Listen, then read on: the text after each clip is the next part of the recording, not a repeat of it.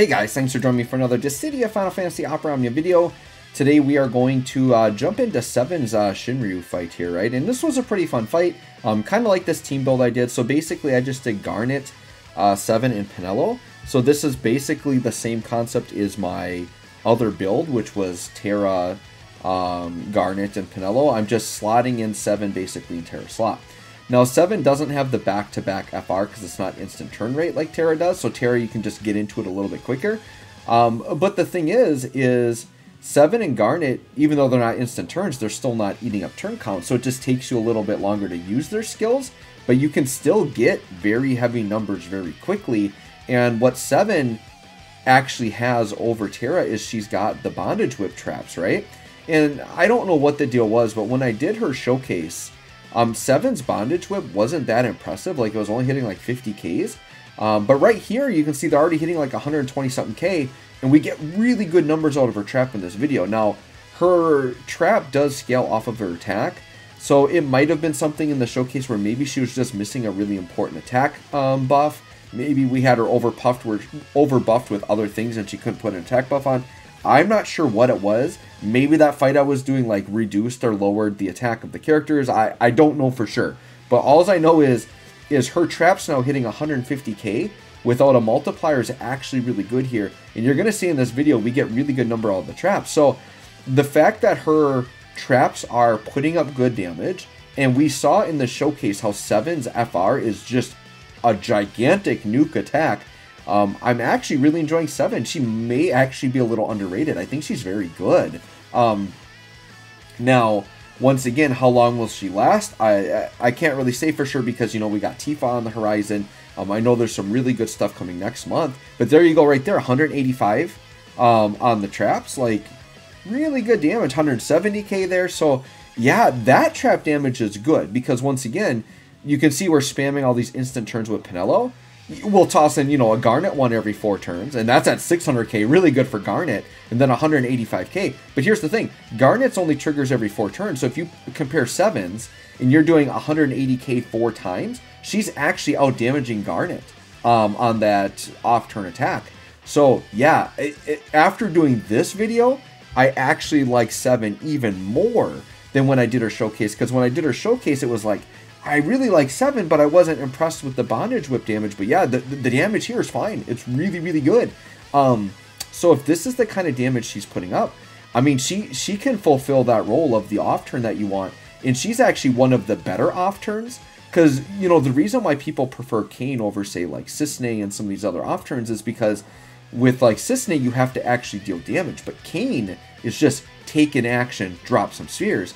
Well, seven is the same thing. Take an take an action, uh, drop some spikes down, right? And uh, it's nice. So I don't know. I think seven is a character that maybe um, has flown under the radar for some people, and maybe content creators don't give her enough praise. But I'm gonna give her praise. Like I think she is actually really good.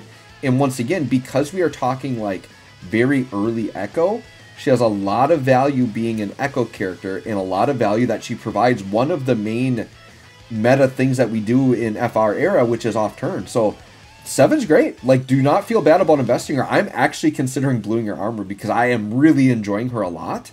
Um, very, very good character. Now watch this. So we're getting into four. So we can watch how we blow this up. So there, yeah, 380k. really good AoE damage on a Bondage Whip, right? And so now, yeah, let's just take a Garnet turn. Once again, won't. This is a Force Echo, so does not eat up our turn count. So we're just going to get really big numbers. And the nice thing with 7 is we can kind of see like how big her Echo is going to hit. Um, because it's mighty powerful, right? Look at that, 500k already from Bondage Whip. So the damage looking actually really good already. And then here we're going to hit Echo. Now this is at 300%. So look, oh yeah, actually I decided to do a Lunafreya here, don't I? I don't know why I just wanted back-to-back -back turns, but that does eat up a turn. Um, I'm trying to remember what I was doing here. I think I maybe just wanted to do back-to-back -back 7 Echoes, really what I wanted to do here. I think that's why I used Lunafreya. So I decided to do that to up the numbers a little bit. So just 25%, nothing too crazy there. Okay, but then yeah, just 700k. Really just trying to show off 7 a little bit. That's why. So this isn't like an optimized run. This isn't me like, oh, I'm to do a 400 mil burst phase, but I just really want to showcase 7 and get a good look at her. I think I just wanted to raise the gauge a little bit more, right? Because look at the nuke we get. 15 mil. That was 15 mil at 400%. And so now since we use Lunafreya, and look at that, 800k from the Bondage Whip, like the damage is really crazy here from 7, really liking it. Um, and then we can do another back-to-back -back Echo here. First Echo was 15 mil. Uh, this Echo was, uh, that looks like it was about 8 mil there. So damage dropped off a little bit, but still really good damage. Um, or no, that wasn't the Echo, that was another attack. I was raising the gauge. Here comes the Echo. Yeah, so that was 8 mil from like the LD, because it's instant turn. And then we get 9 mil there. then we drop some Garnet Bombs. Actually, no, that was another LD. Sorry, I keep spamming LD here because once again, yeah, I wanted to get deeper. Now the FR. So sorry, that was an 8 mil LD, a 9 mil LD. Because you can do that with 7. You can spam instant turn if you want to. Because I wasn't trying to go into like a Penelo burst phase here. I just wanted to get damage. Look at 23 mil. So we, we raised the gauge a little bit on some LDs. And then we got to that. And now, look at her sadistic spikes or her bondage. It's over a mil AoE. So... Eh, So now we could instant turn rate, right? So I decide, sure, let's just summon, because I don't want the enemies to do anything. Let's just summon with Brothers. A little bit early, but still 6 mil AoE from Brothers. And now Penelo can just, like, Fatal Dance. Fatal Dance and put up, like, a ton of damage. So we're actually going to just, like, singular force time this without even using a burst phase. Um, just because of how busted Echo is and those off turns are doing a lot of damage. So, and we've got another Echo here from Garnet. So now this is a very high percent shot, right? 800% for Garnet Echo. This will not eat up a turn count, and we pretty much have the gauge full anyways. We're almost at the 999. So Garnet popping off a 17 mil AoE. Um, and then there's like a 1.5 mil bondage attack. Um, the damage is heavy here. Like, it is just so good right now. Um, and it's one of those things where, like, pretty much if we're playing normal timeline fights, like outside of uh, what you what do you call it the uh, the big the Spiritus fights, like outside of that, like the normal timeline JP fights for the most part are pretty easy, right? So we we come in here like full force echo and just stomp the crap out of this fight. Uh, once again, if you don't have a crazy team, I'm sure there's more mechanics here. Obviously, you're seeing that it, it operates. I like this fight a lot, by the way, because it operates like the Bahamut fight, where they just keep auto summoning the ads back. So this is another really good fight just to show off big damage, big burst phase. Penelo like 17 mil AoE. And you can see here we're at max gauge with like three turns to spare.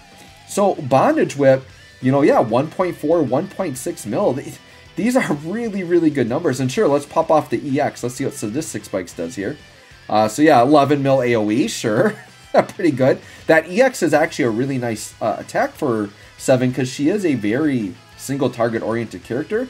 So the fact you pop off that EX and do really big AoE damage is good. And sure, let's do Garnet LD here to kind of finish things off. So what's going to happen here is, uh, yeah, 10 mil AoE, sure. Enemy's still alive, right? Rallying cry. Oh, he's coming back. He's coming back. That 3% is going to be a pain. Oh, wait. We've got Garnet dropping another bomb from the sky, finishing him off. 8 mil on just a Garnet bomb. So anyways, guys, there you go. Seven looking really good. I, dare I say she's a little underrated. I think she's working out really well here. Really valuable two two aspects here that are really valuable, right? She's got echo and she's got traps. Um, she fits the mold of what you kind of want on a team build, and this actual team build I ran is pretty nice. So anyways, let me know what you're thinking of 7. Thanks for watching. We'll catch y'all on the next one.